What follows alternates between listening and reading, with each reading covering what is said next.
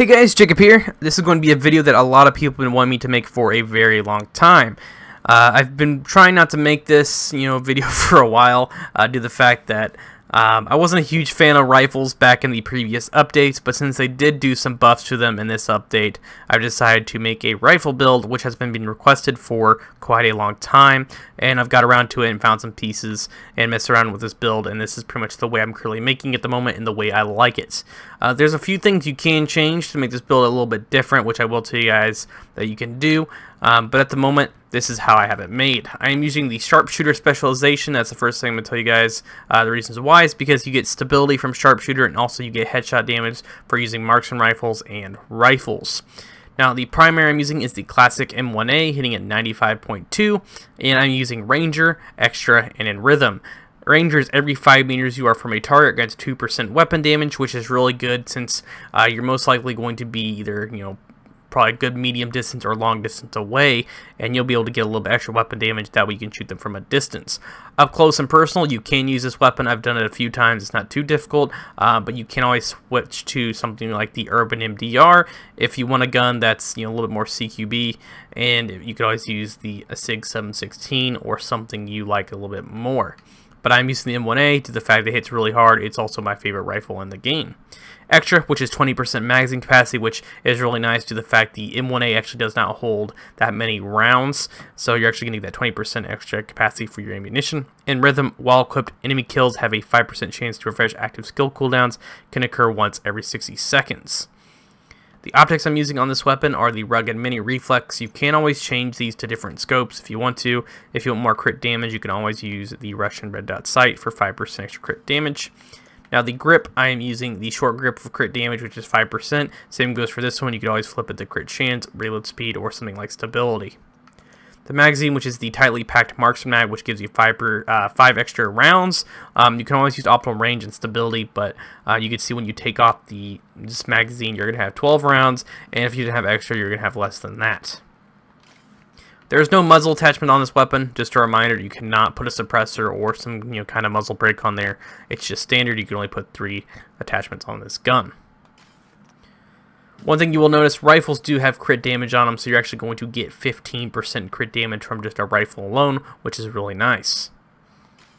Now the secondary I'm using is the Eagle Bear. If you don't have an Eagle Bear, you don't really have to worry about it because this is a rifle build. Um, but a good secondary would be, for me at least, it's an AR. You could always use a shotgun or even uh, something like an SMG. But I'm using the Eagle Bear due to the fact that it does have crit mods on it on the scope and on the muzzle, which is 15% crit damage. So since you're going to be stacking crit on this build, it's actually not too bad to use this. And also you'll have the weapon stability from Sharpshooter to have this gun shoot a little bit easier.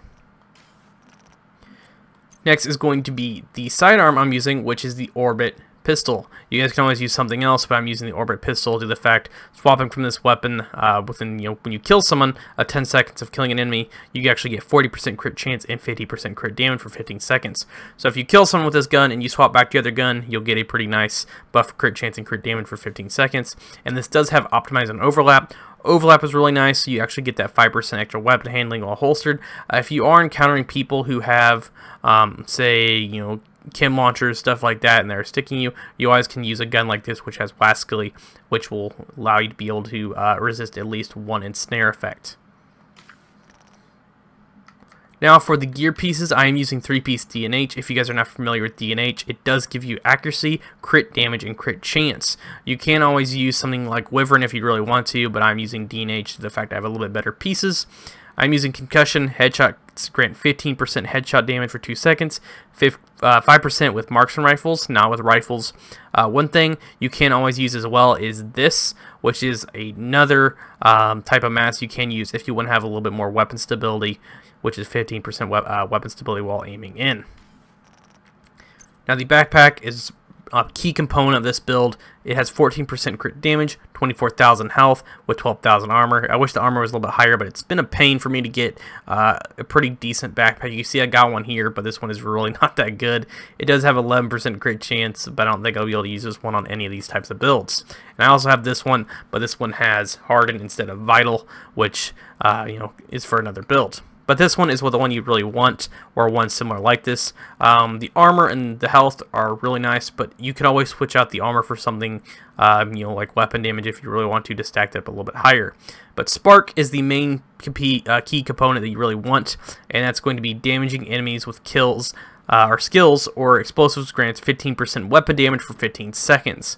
You're going to have Vital, which is 25% extra health. That's unique talents, so you cannot stack those, and that gives you a little bit more health boost. The mod I'm using on this is a 1.5 weapon damage, crit range, and 4% crit chance. Now to the knee pads which are also DNH with 8.5 crit chance, and Composure while in cover grants 10% total weapon damage. So while you're in cover and you have something like this in Ranger, you're going to be able just to beam people and just smack them with your rifle or even an AR if you're hitting them at a distance. I'm using offensive mod with crit chance and headshot damage and 1.5% weapon damage. And like you guys are probably wondering, why not use rifle damage? You can if you really want to, uh, but so far I've been going with a little bit more crit due to the fact I have other stuff to make up for damage, and I'm using this build uh, in medium range instead of being right up in people's faces, which you can do, which it's not that difficult, um, but I tend to stand back a little bit more. Now I'll go to the gloves next, which are Fenris gloves, which gives you that 10% extra assault rifle damage bonus. Uh, if you can find gloves that have obliterate on them, they're a little bit better. If you guys want to use something like Overlord gloves to get the weapon damage for rifle damage and stack the percentage you get from Overlord in general and have obliterate, you can do that. But uh, sadly, I've not been able to find a pair of gloves like that, and these ones work just as well because they do give me the percentage for AR damage, which allows me if someone's right in my face and it's multiple people and I don't have time to really use the rifle and drop them, I could switch to the Eagle Bear and have a full auto gun to be able to melt someone when they're right there. But Obliterate is a key uh, item as well, which depleting an enemy's armor grants 30% crit hit damage for 15 seconds. So if you take out someone's armor, this will proc you 30% extra critical hit damage, and if you're ranged with Composure and Spark proc, also, with Ranger, you should be able to snipe someone and just smack them with pure crit and just melt all of their armor and just melt them if they have no armor at all.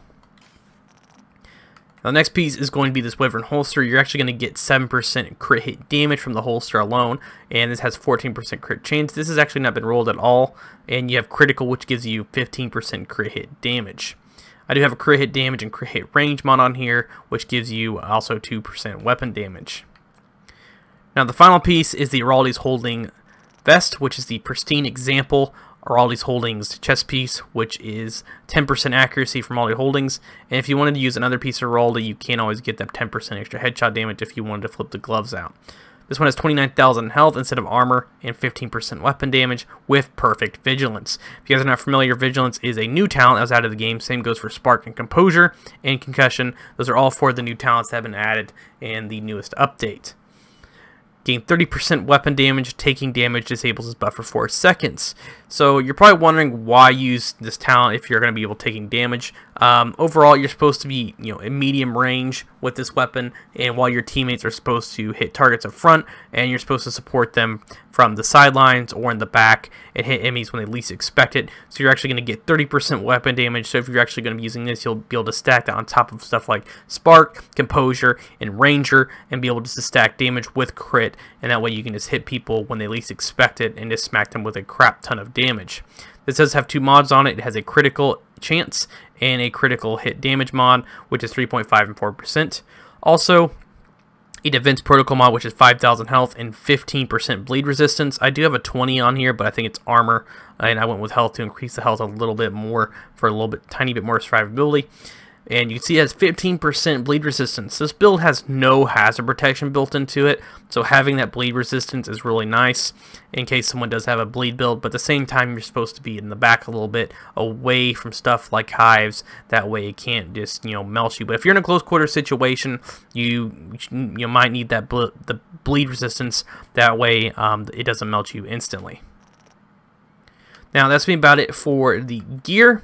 And you guys already know about the weapons. I'll go now into the skills, which I'm using the Striker Drone, which is for to proc Spark. You can obviously use explosives and grenades, but long as this is hitting someone, it will constantly proc Spark, and you'll be able to have that 15% extra damage always up all the time.